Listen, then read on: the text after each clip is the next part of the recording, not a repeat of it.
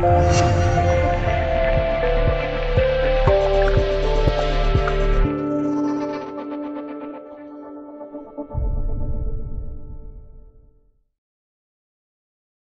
者：红色库尔斯克以色列国防军是一支纪律严明、战斗力爆表的军队，保障了以色列在中东这个乱局中生存下来。而以色列的全民皆兵国防政策，也使得以军中女性比例非常高，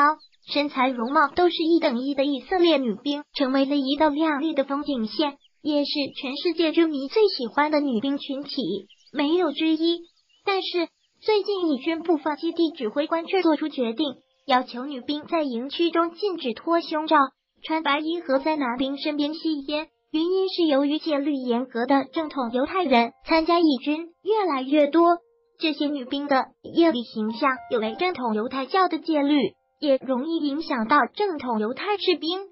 那么，什么叫做正统犹太人呢？虽然以色列是有法律规定的犹太国家属性。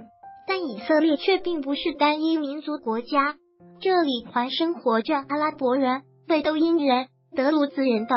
在犹太人中也还包括正统派犹太人和世俗犹太人。由于犹太人两千年的逃亡，人种已经非常混杂，所以犹太人是最不好辨认的民族。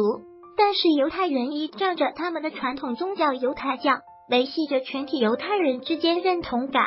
保留着犹太民族的特质，而正统犹太教徒在衣着、饮食、婚姻、家庭以及生活的方方面面都严格遵照传统的宗教习俗。在哭墙前广场，我们就可以看到好多正统派犹太人，也有不少以色列士兵。这些士兵都是属于正统犹太人，黑色礼帽和小圆帽是他们的特征。